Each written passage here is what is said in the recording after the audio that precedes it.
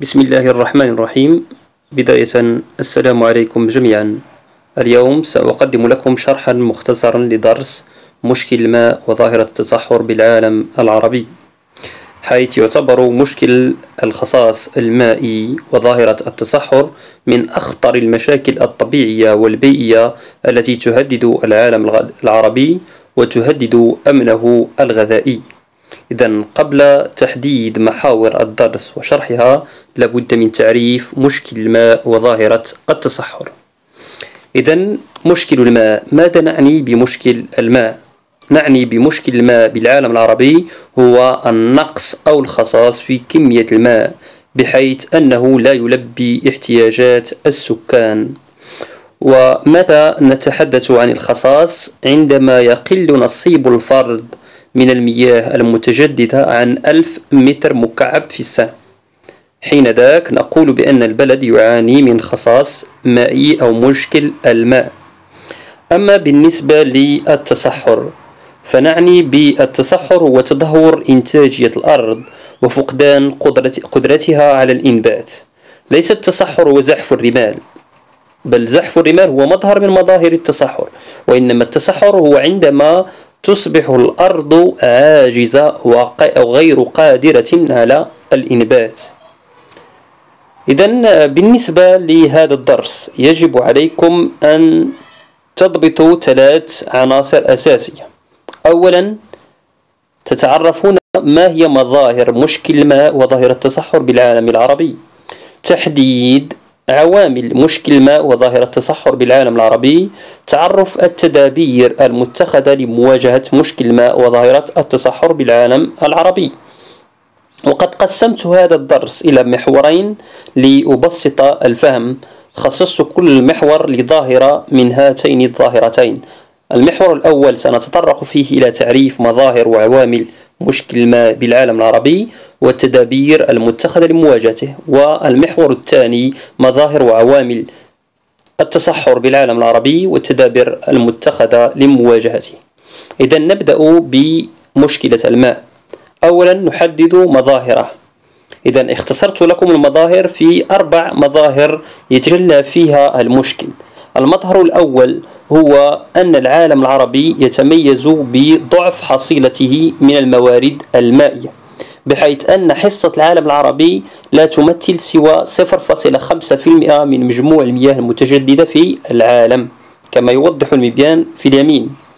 كما يتميز أيضا هذا النصيب بعدم توزيعه بشكل عادل أو منتظم بين بلدان العالم العربي حيث يتركز الجزء الأكبر منه كما توضح الخريطة في بلدان النيل مصر والسودان وفي أيضا بلدان الهلال الخصيب سوريا وفلسطين والأردن ولبنان. كما أيضا يتميز نصيب الفرد بتفاوته بين البلدان. حيث نجد أغلب البلدان يقل فيها نصيب الفرد عن ألف متر مكعب كما يوضح الخط الأحمر في المبيان خط الفقر المائي. فلاحظوا بأن أغلب دول العالم العربي توجد تحت هذا الخط باستثناء أربع أو خمس دول. هي لبنان المغرب ولبنان. على هامش هذا الخط الصومال جزر القمر السودان العراق موريتانيا. وجميع دول العالم العربي الأخرى يقل فيها النصيب عن ألف متر مكعب.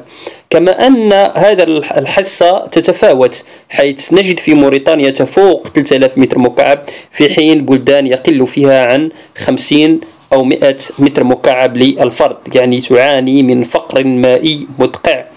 كما أن الماء يتميز بعدم مواكبته لحاجيات السكان. أيضا مظهر من مظاهر عدم تلبية حاجيات السكان. إذا هذه أربع مظاهر لمشكل الماء.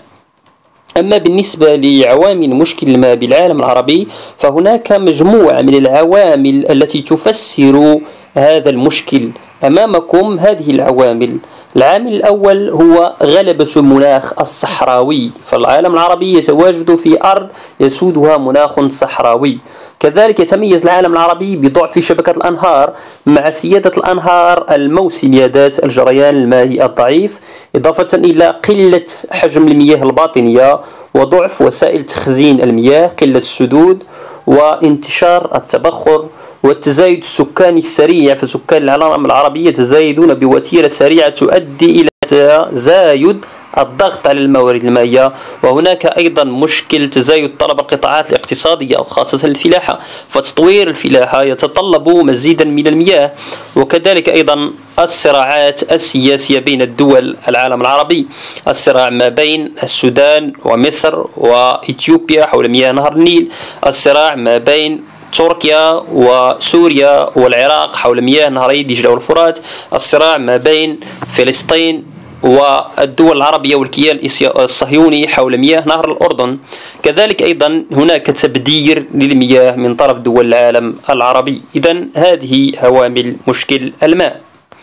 أما بالنسبة للتدابير المتخذة فتتخذ مجموعة من دول العالم العربي إجراءات للحد أو التخفيف من مشكل الماء. إليكم بعض هذه التدابير في الصور. من بين هذه التدابير اللجوء إلى بناء السدود خاصة المغرب ومصر والسودان والعراق وسوريا وموريتانيا. كذلك أيضا نموذج تحلية مياه البحر بالنسبة لدول الخليج العربي.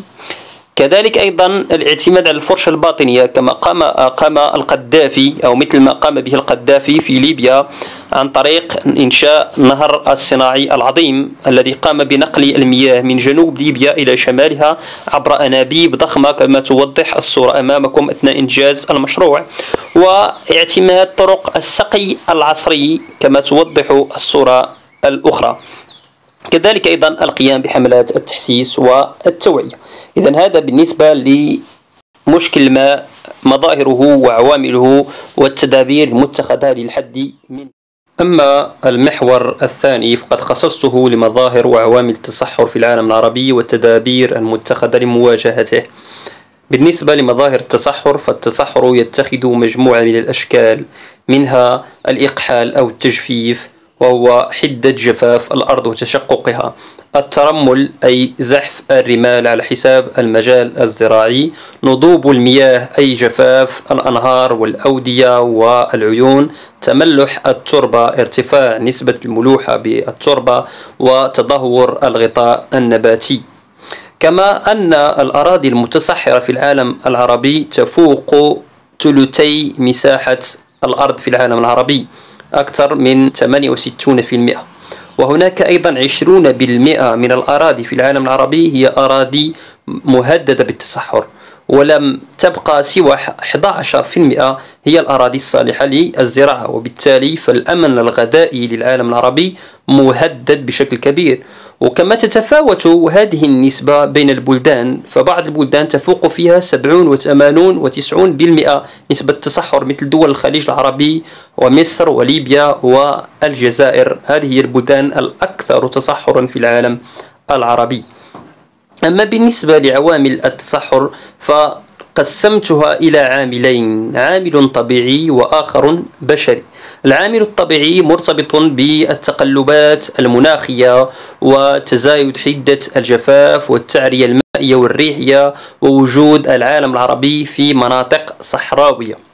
أما بالنسبة للعامل البشري والذي يزيد من حدة التصحر فهو الاستغلال المفرط للموارد المائية السطحية والباطنية تلويث التربة اجتثاث الغطاء النباتي الرعي الجائر الحرث في اتجاه معاكس للانحدار في اتجاه الانحدار عفوا والسقي المفرط والزحف العمراني زحف المدن والبنايات على الأراضي الزراعية الذي يزيد من ضيق المجال الزراعي. وتقوم دول العالم العربي بمجموعة من التدابير للحد من هذا المشكل. منها ما هو تقني وما هو اقتصادي وما هو اجتماعي وما هو قانوني. فعلى المستوى التقني تقوم دول العالم العربي بالتشجير كما توضح الصورة على اليسار. تثبيت الرمال بطرق متعددة. الحرث حسب خطوط التسوية أي عكس الانحدار. اعتماد التناوب الزراعي أو الدورة الزراعية للحفاظ على الأرض. هناك تدابير اقتصادية تتمثل في محاولة تكييف الأنشطة الاقتصادية مع خصائص المناطق الجافة وهناك تدابير اجتماعية حيث تحاول الدول محاربة الفقر وتحسين المستوى المعيشي لسكان المناطق الجافة من أجل التقليل من الضغط على الأراضي الزراعية والزيادة في حدة التصحر وهناك تدابير قانونية حيث تصدر مجموعة من دول العالم العربي قوانين للمحافظة على الثروات الطبيعية ومساعدة جميع الدول العالم العربي على الاتفاقية الدولية لمكافحة التصحر.